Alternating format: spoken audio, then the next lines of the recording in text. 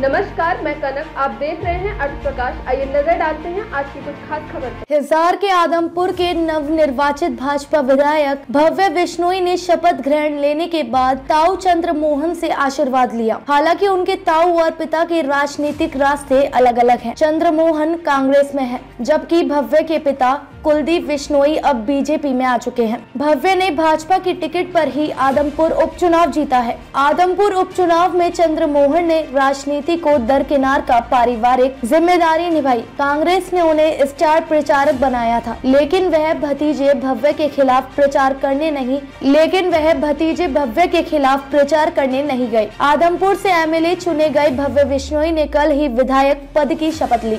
इसके बाद ताऊ से पंचकूला स्थित उनके आवास पर जाकर मुलाकात की। भतीजे को देखते ही ताऊ ने भी उसे अपनी बाहों में जकड़ लिया। चंद्रमोहन ने अपने समर्थकों के साथ भी उसका परिचय करवाया। हालाँकि चंद्रमोहन कांग्रेस में होने के कारण आदमपुर उपचुनाव से तटस्थ रहे। वह न तो अपने भतीजे के समर्थन में और न ही विरोध में प्रचार करने पहुँचे। हरियाणा के पूर्व डिप्टी सीएम चंद्रमोहन चौधरी भजनलाल के परिवार के एकमात्र कांग्रेसी नेता हैं। भजनलाल और कुलदीप बिश्नोई ने हजका के गठन के समय कांग्रेस छोड़ी थी, परंतु चंद्रमोहन कांग्रेस में रहे। हरियाणा सरकार की तत्कालीन एडवोकेट जनरल अनुराधा बाली के साथ प्रेम प्रसंग और निकाह के बाद उन्हें अपने पद से इस्तीफा देना पड़ा था। ताज़ा अपडेट्स व बड़ी खबरों के लिए सब्सक्राइब करें आज प्रकाश टीवी और बेल आइकन दबाना